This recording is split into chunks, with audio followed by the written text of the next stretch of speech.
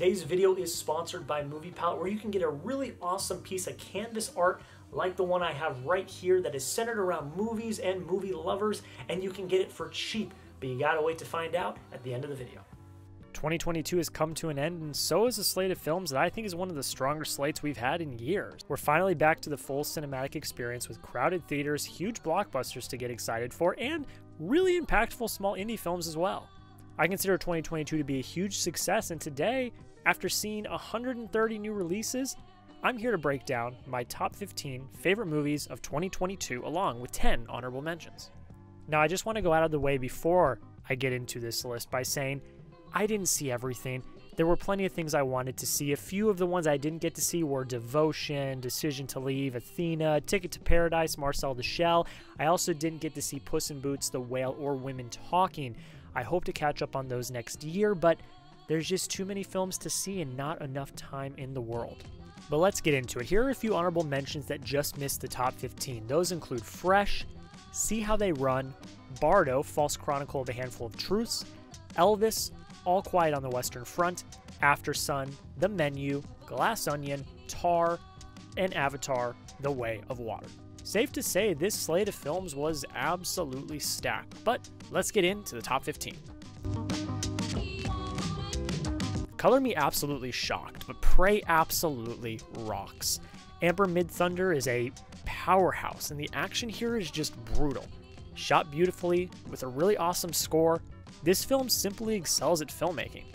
Kinda wish I saw it in a theater, but everyone should give it a watch. Dark, touching, and emotional, Guillermo del Toro crafts a masterclass in animation and just filmmaking in general. The voice cast is amazing, the score is one of the best of the year, and the technical is picture perfect. Stop motion animation will continue to amaze me. This is the most personal Kevin Smith movie to date. A film that, while still very funny, leaves room for heart and emotion. A fitting ending to his Jersey trilogy that tackles mortality, the meaning of life, and friendship. I really love this one. This film is just beautiful. A fitting tribute to Chadwick Boseman and an important look at grief and how we handle it. The cast from top to bottom is stellar, Ryan Coogler is the man, and Namor is fantastic. A little sloppy, but overall solid. RRR blew me away. The true definition of a cinematic experience, the writing is tight, the performances are good, but the action is the star. It's bold, bombastic, all sorts of bonkers. I've never had an experience like this. My jaw was literally left on the floor. So, what's your name? Neighbor. Jabari. Nice to meet you, Jabari. I'm Meadow. Yeah, and I'm Reed. This is my favorite animated film of the year, and more people need to see it. A vision from the mind of Kid Cudi that is the ultimate definition of a vibe. The animation is the biggest point of discussion. Much like Spider Man Into the Spider Verse, the film is a piece of art with each frame. The soundtrack is awesome, completely from Kid Cudi, and acts as a great companion to the story. Not only is it beautifully animated, but the story is also really tight and relatable. A beautiful but real love story that hooks you from the start and never lets up. The voice performances are very well done, and the emotion sticks around. Like I said, this is my favorite animated film of the year, and I highly recommend you check it out. I just don't like you no more.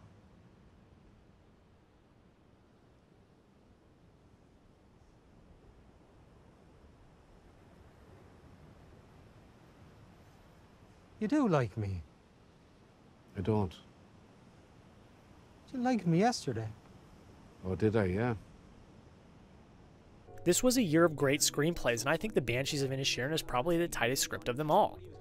It's funny, emotional, and sinister all at the same time. Easy enough to consume without dumbing down the concepts or the themes. The entire cast is fantastic and earning much deserved praise with awards, but Colin Farrell and Brendan Gleeson are the electric duo. The trio of Farrell, Gleeson, and Martin McDonagh has yet to fail, and they deliver probably their best project so far. The cinematography is beautiful, the score works really well, and the set design is just so good. A fitting addition to the Best Picture race that deserves the praise. You know how to shoot a gun. Oh, God. Why do gun people always make it complicated? You point, you fire at the thing you want dead. I don't take a fucking class for that. Oh, fuck. On the Count of Three is a masterpiece, a raw and real look at mental health.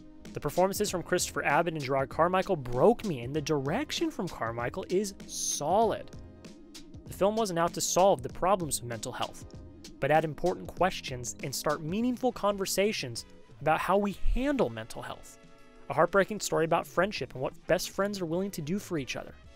And it's also a movie about trying to find a reason to live and realizing that there are good things about life, even when it seems oh so dark. I love everything about this film, and I think it needs to be seen by everyone as soon as possible. 尽管 离家让我心碎，我想告诉你，如果有来生，我还是会选择和你一起报税，开心一点。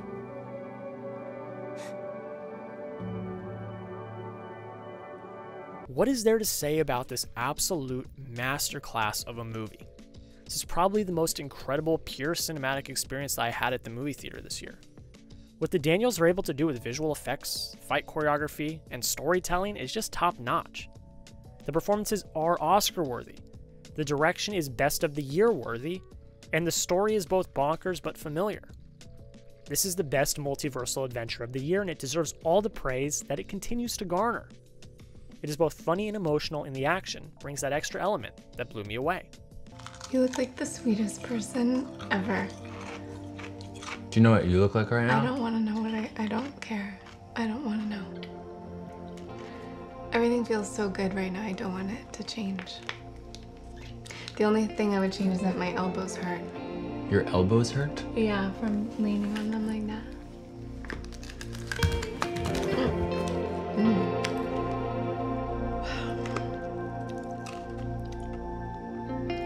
I really and truly believe with my whole heart that Cooper Raiff is a genius of filmmaking.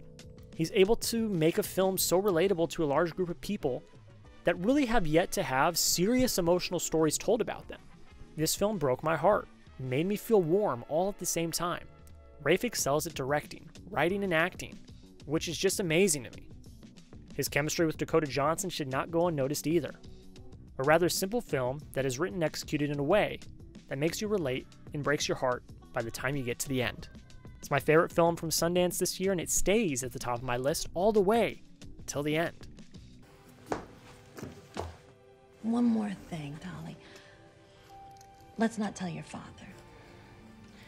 It'll be our secret movie, just yours and mine.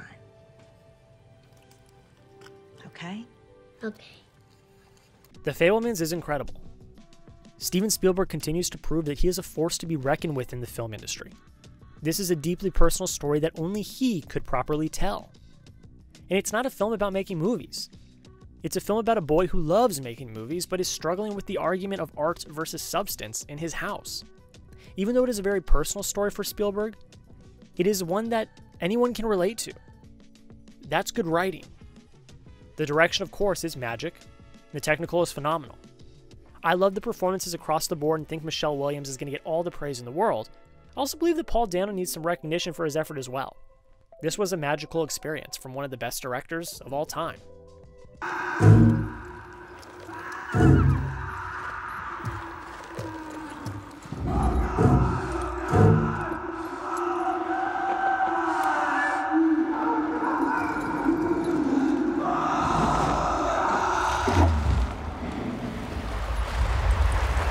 Nope is just fantastic. Jordan Peele knows how to make movies and he uses his expertise to create one of the best blockbuster features of the year.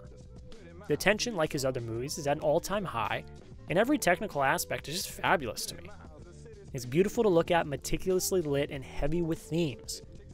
The performances are to die for, with Keke Palmer and Daniel Kaluuya deserving more credit than they're getting from awards.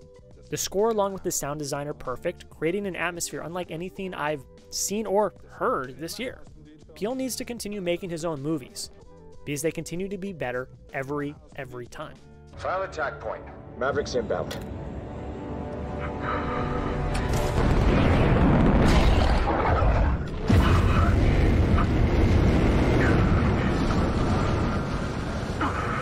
Tom Cruise is the last true movie star.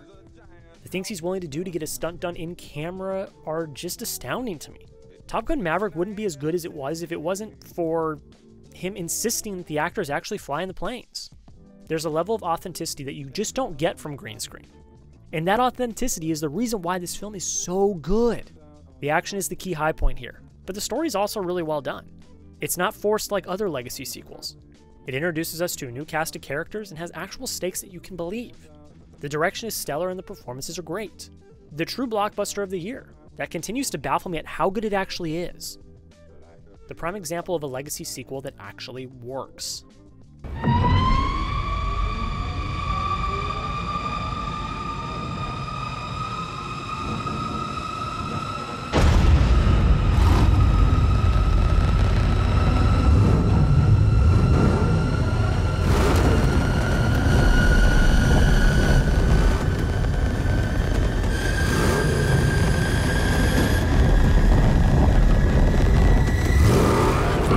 I shouldn't even have to write about why I love the Batman. I've covered it numerous times this year in articles, video essays, and more. But we'll run through it again.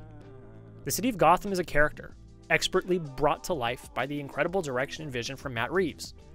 His knowledge and passion for Batman is the beating heart of this project.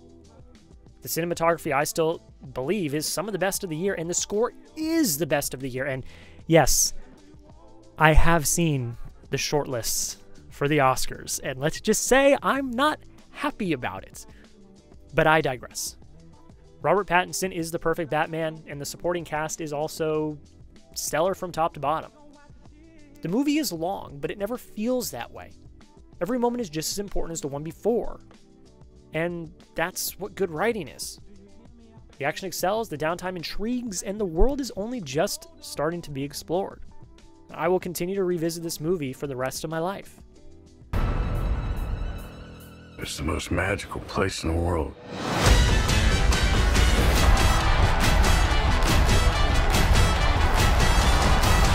Yeah, I know. You probably expected this, and here we are.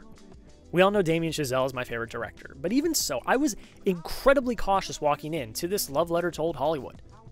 The reviews were all over the place, the unhinged nature of the film was semi worrying to me, and the three hour runtime definitely made me nervous. But damn, did he execute, though. This film is as close to flawless as you can get this year. I have some issues with the writing, but overall, the rest of the film, it's as picture perfect as you can imagine. The performances across the board rock. Now, I think Margot Robbie and Diego Calva are the brilliant lead duo that we needed in this film, and they take the moment and absolutely crush it.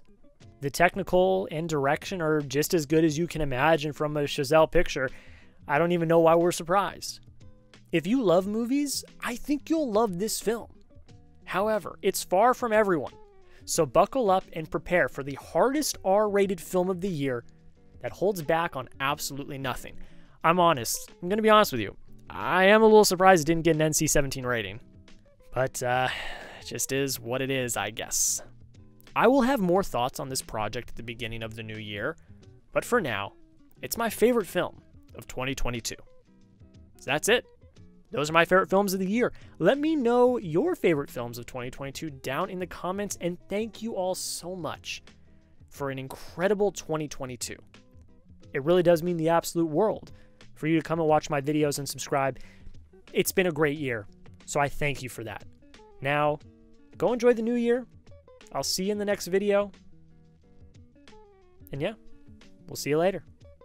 Hey, how's it going everybody? End of video Jack here. Thank you all so much for watching whatever video you just watched. I really appreciate it. Don't know what video it is because I filmed this ahead of time, but I appreciate it nonetheless. But today, before you go, we got a package to unbox and I'm to tell you about a new sponsor on the channel that you can get yourself some pretty cool swag as well. But basically what happened as I'm unboxing this the people over at Movie Palette reached out and said, Hey, Jack, we want to send you a free palette of your choosing, and all you have to do is talk about it on your video. And yeah, and I replied, uh, bet. So they sent me over my very own movie palette, one that I got to choose, and I got a special deal that I'll tell you at the end of this where you can get your own and you can get it for cheap. So I'm going to take it out of the box. So basically, if you don't know what Movie Palette is, it is a canvas piece of art that encapsulates the color palette of any movie you want. You go to their website, moviepalette.com. They have a huge selection of palettes for you. Please excuse me while I rip this bad boy open so I can get it out and show it to you guys. This thing looks amazing. I knew it would because I know that Movie Palette has very high quality product and they always look great. So, I'm gonna take the palette out, move it away. I'm gonna take the wrap off of it so we can get the full effect. And like I said, canvas pieces of art that encapsulate the color palette of your favorite movie. Can you guys guess? Go into the comments and guess what movie this is before I reveal it to you. If you know me, you probably know we're going, of course, with La La Land. We had to. And this is a beautiful piece of art from Movie Palette. And if you go to Movie Palette right now and you go get your own palette, you can use code JACK15. What happens when you use code JACK15? You get 15% off your order, which I think is pretty cool. And it also supports me and it supports the channel. Thank you all so much for watching. Thank you to Movie Palette for sending me over my own palette and for supporting the channel. I really do appreciate it. None of this would happen if it wasn't for you guys supporting the channel. It means the absolute world. Thank you all for watching. We'll see you in the next video.